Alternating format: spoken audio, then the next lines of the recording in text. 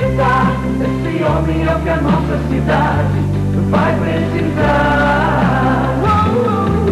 Nessas eleições, Carlos Simões dá pra confiar e acreditar. Esse homem é o que a nossa cidade vai precisar.